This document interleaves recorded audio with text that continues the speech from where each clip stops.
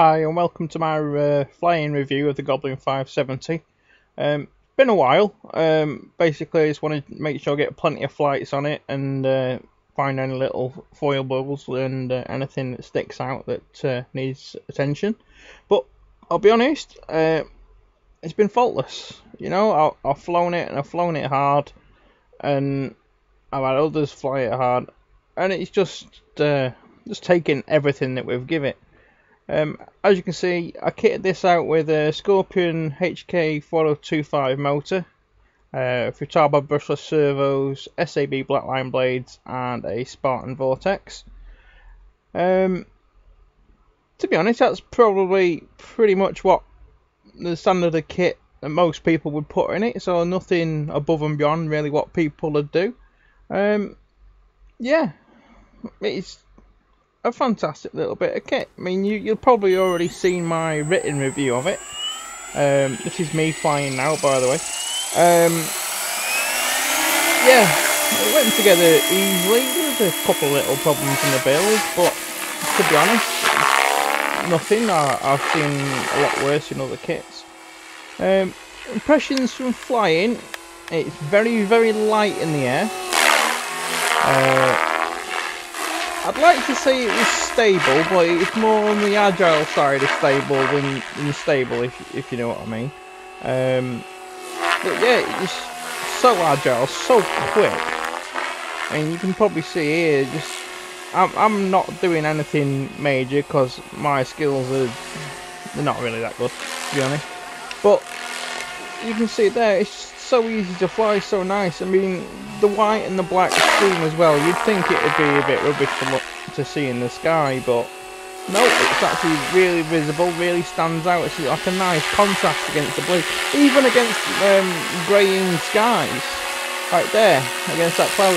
It, it's not too bad to see at all. You've, you've got plenty of visibility, and oh, I'm quite impressed by it actually. Um, I definitely recommend it to other people. I really can. The only thing that lets it down really, um, I've probably got 70, 80 flights on it now. Um, canopy's starting to crack a little bit where it goes around the bottom mounts. Um, I think that's just because of the way you have to put the canopy on the Goblin. Um, what else was it? There's been a little bit of slop the tail, but that'll come out. That's nothing major. But the biggest gripe is battery life.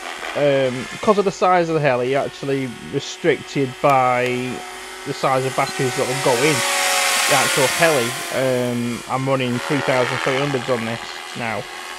And even with my fairly sedate flying, I'm only getting 4 minutes, 4 minutes 15, something like that. Um, when one of the more hardcore pilots at the club gets hold of it, we're down to about three and a half minutes, something like that. That's that's probably the only gripe that I've got with the heli that I want more flight time, but it's just such an absolute hoot to fly. It really is. If you're looking for a 550 size heli, the 570 Goblin is probably one of the best buys that you can you can have on it. So yeah, time for me to hand over the reins to uh, one of our test jockeys, uh, Tom Owen. Um, you might have heard of him in the show the other day. Um, I give him big props just because his quality his flying. So I'll uh, shut up now and let you watch Tom give it death.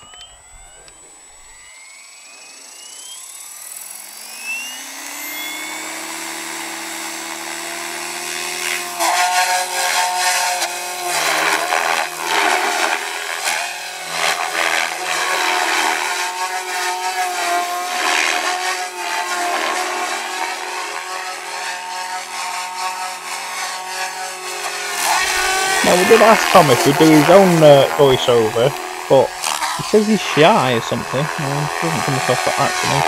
But anyway, this is what Tom says. Thanks Kev for asking me to do a flight review of the Goblin 570 today. What a crazy heli.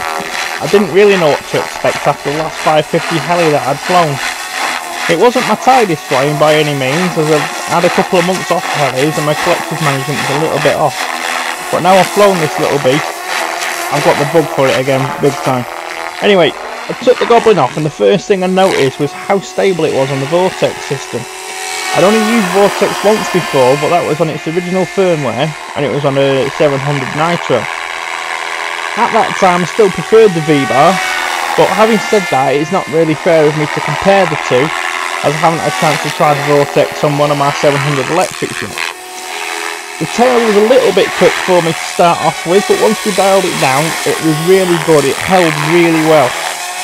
The 570 seems to be a really good all-rounder.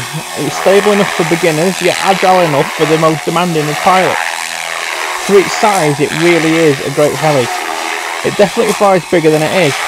I've been flying nothing but 700 size helicopters since I started in New Year, and it didn't really feel like a 550 at all, which is really impressive. It's an absolute powerhouse of a heli with absolute bags of power, and if I was in the market for a 550 size heli, I would put in this very high on my list. Maybe when my heli flying has improved a little bit more over over and above my fixed wing flying, I can get a chance to have another go and add further comment. But for now, I'm glad to have flown it. What a great little heli. So there you go, guys. That's Tom's words said by me, but it's Tom, Tom's own words, and uh, as you can see, he really does enjoy this heli, and uh, yeah, fantastic bit of kit highly recommend it to anyone.